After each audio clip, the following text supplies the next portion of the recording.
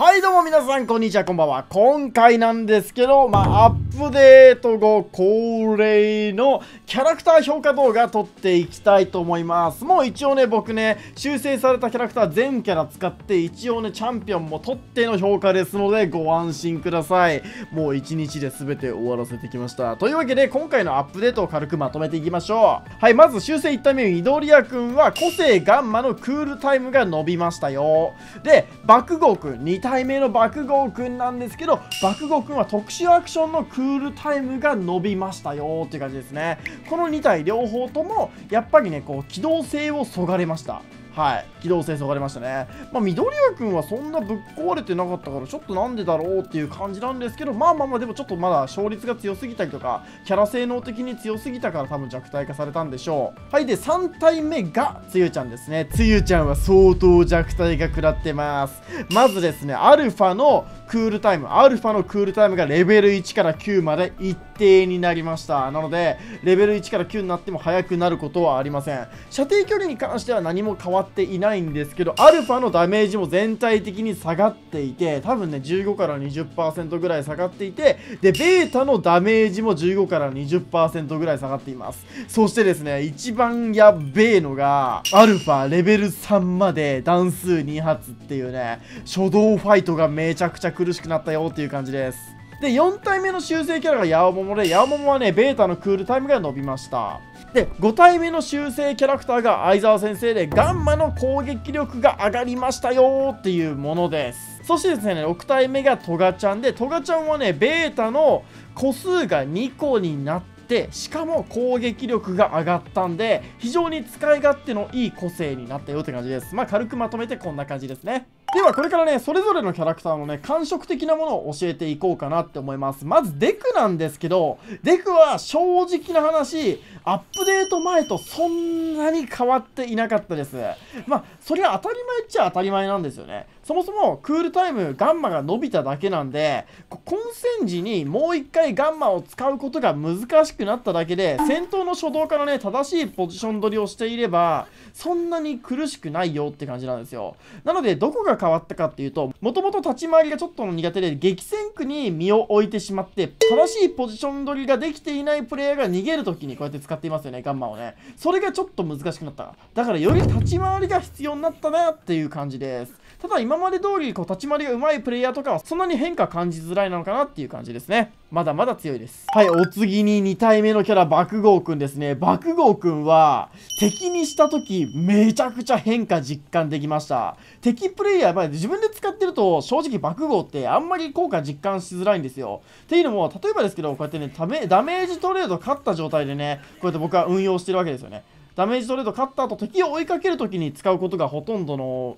こう特殊アクションの運用方法だったんでだからそんなに変化実感自分で使った時は実感しづらかったんですけど敵に爆豪が来た時こっちがダメージトレード勝って追いかけるじゃないですか。で追いかけても今までだったら特殊アクションがすぐ上がったのですぐ逃げられちゃうみたいな状況が多かったんですよ。霧島とかねベータでね一応爆豪に追いつくことできるんですよ。アルファとかベータ使えばね。でもねすぐ特殊溜まるから結局上に逃げられてそのまま倒されちゃうことが多かったんですけどそれがめっちゃ減ったなっていう感じです。もう明らかに戦いやすくなってます。敵にした時。なので今回のこの機動性のアップデートっていうのはすごい正解だったのかなと思います。ただ言うて、こう特殊アクションが2個あるので、こう、なんだろうな、まあ、1対1の戦いでエイムのいいプレイヤーとかは全然まだ猛威振るうんじゃないかなっていう感じです。ただそのエイムのいいプレイヤーも逃げにくくなったことは間違いがないので、この特殊アクションを1回使ってね、こう射撃してから、ちょっとの間隠れて特殊アクションがもう一回溜まってから打ち合うみたいな、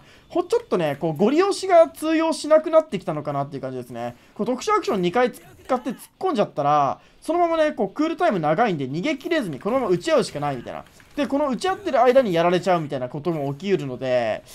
まあ、どうなるかなっていう感じです。まあ、単純に混戦状況で生き残りづらくなりましたよっていう感じですね。まあ、これで一旦様子を見るんじゃないでしょうか。多分ね、特殊アクション1回にしたら弱すぎちゃうっていう可能性もあるので、まあ一旦クールタイム長くして様子見って感じなのかなっていう感じですね。はい、お次につゆちゃんですね。つゆちゃんは今まで火力が高すぎましたよね。で、今見てください。レベル1の時2発。ね、これね、マジで地獄で、空中に浮いた後のベータができなく、ほぼほぼできなくなっています。まあ、というのも、今までつゆちゃんの戦い方ってどんな感じが多かったかというと、一回アルファでこうやってね、自分の好きな距離に移動してから一発当ててからこうやってね、攻撃してたわけですよね。でもこれやっちゃうと、今度逃げ切れなくなるんですよ。レベル1から3の時。レベル4以降は3発になるんですけど、レベル1から3の時は2発なわけじゃないですか。だから初動ファイトがマジで辛くて。で、しかもベータコンボを決めても、これ合計アルファからアルファ、ベータ、ベータ決めても、160から70ダメージしか食らないんですよ。めちゃくちゃ低いよね。まあでも、まあ、ラピッドでね、なおかつこんな空中に受けるキャラだから、正直こんぐらいが適正なのかなって、とは思うんですけど、今までのつゆちゃんの強さに比べたら相当弱くなっています。本当によりプレイヤースキルが重要視する、本当上級者向けのキャラ、エイムが良くて判断力も良くなければ、使えないキャラクターになってきたのかなって感じですね。味方の蘇生もしなきゃいけないしね。すごい初動ファイト忙しいし、中盤終盤も火力低いから決め手にかけるから味方とフォーカス合わせる必要もあるわけですよ。ちょっとテクニカルなキャラクターになっちゃなっちゃったんじゃないでしょうか。で、一応なんですけど、アルファをレベル9に、アルファとベータをレベル9にすれば、今まで通りね、火力はそこそこ出せますね。70、80、80ですので、230、だいたいシールド割れるか割れないギリギリぐらいまでダメージを与えることができます、ワンコンで。なので、今までね、多分ね、ワンコン、アルファ、ベータ、ベータコンボのワンコンが300ダメージ近く出てたと思うんですけど、これからは1人を倒すためには、3回フルコンボ当てないといけない感じになりましたね。アルファ、アルファ、ベータ、ベータ。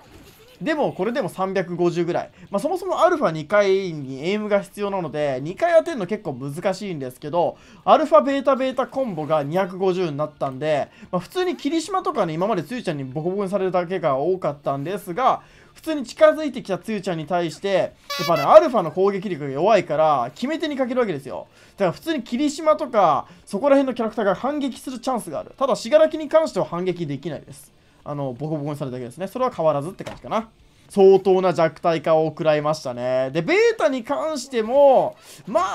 ちょっと低くなったよね。まあ、2発当てれば160ダメージ入るから、まあ、言うて軽く、まあ、そこそこ出るっちゃ出るんですけど、昔のね、200ダメージ入らないから。で昔みたいに200ダメージ入らないから、こう、ベータをね、2発当てなければいけない。今までこう、アルファ、ベータのダメージが、これ3発分当てな当てないと入らなくなっちゃったなって感じですね。今までだらアルファ、ベータに1回当てればね、だいたい大体200ダメージぐらい入ったと思うんですけど、まあ、3発当てても250ダメージだったら相当火力低下しました。良きアップデートです。まあ、つゆちゃんはね、アルファからガンマまで全てを弱体化された。でも、多分まだまだ強いです。はい。はい、次はですね、ベータめっちゃ弱体化されたヤオモモですね。今までこの盾を使ってる間もクールタイムこうね、減っていくわけじゃないですか。だから、これ終わった後、3、4秒ぐらいですぐ次のベータ出せて、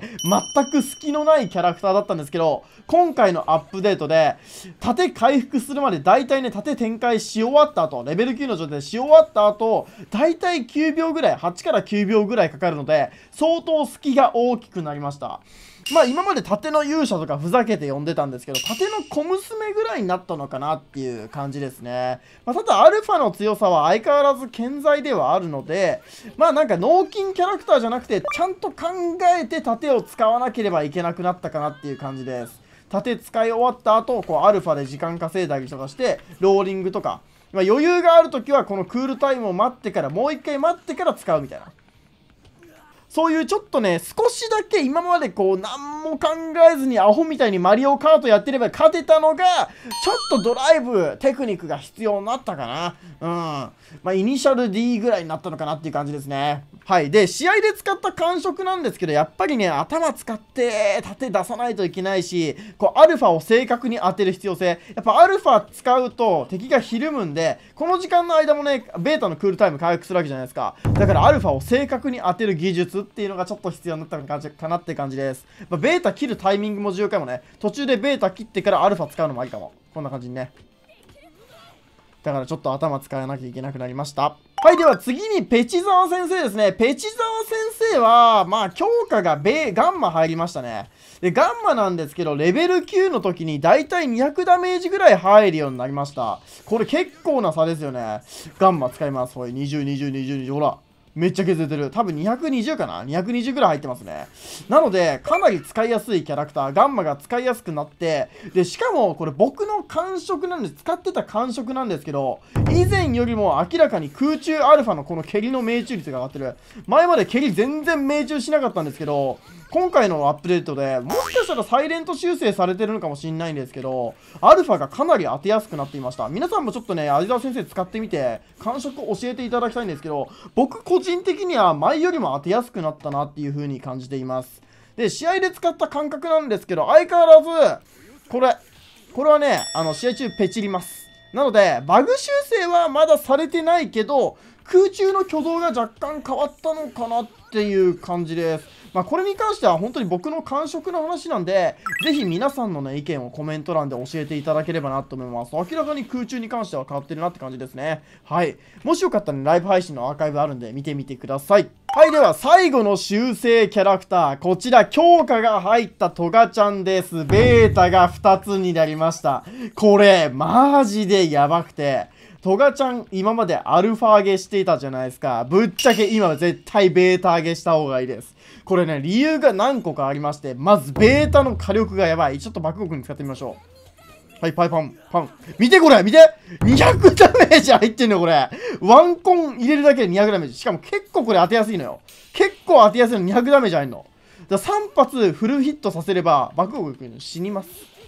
はい、死にます。これやばくないですか？で、しかもこれ2発あるのがもう1つやばいのが、これ1発当てるじゃないですか。1発当てて、走ってます。ぐー、走ってます。見て終わった時にはもうクールタイム回復してんの。だから1人でもこの攻撃に巻き込めば、トガちゃんってこのね、振り回しの間に巻き込めば継続するんですよ。距離が。なので、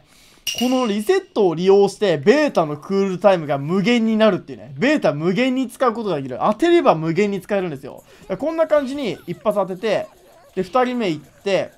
3人目当てたら、もうね、使ってる間に2発目溜まってるんですよ。だから実質3発みたいな、当てれば。だからこれやばいじゃないですか。で、しかもこのベータもっとやばいのが、格殺めっちゃ速いです。見てこれさ、多分全キャラ中最速。ダビよりも速い。キリシャマよりも速い。これがベータを上げるメリットです。これやばないこれマジでやばくないですか？もう時代変わったなと思いました。これアルファ上げなんて知る場合じゃない。マジでベータ上げ。もうこれで核入れるんだよ。もうダウンタイは全部トガちゃんのものです、今後。もう通常時、これちょっとやりすぎじゃないっていう。もうせめて5発にして、もう格殺入れるのこいつ最強になりました、マジで。で、火力も高い。このベータのね、この射撃の火力も高い。で、継続力も高い。継続力は変わってないんですけどね。でも言うて100ダメージだから。で、しかもこの間射撃なんて当てるの超むずいからね。こんな動きされたら。この動きもできるし。で、ずっと何回も何回もこのクールタイム溜まってるし。で、しかも敵のキャラにも変身できる。もうね、時代はトガちゃんなのかもしれない。時代変わったのかも、もしかしたら。で、格殺入れられる。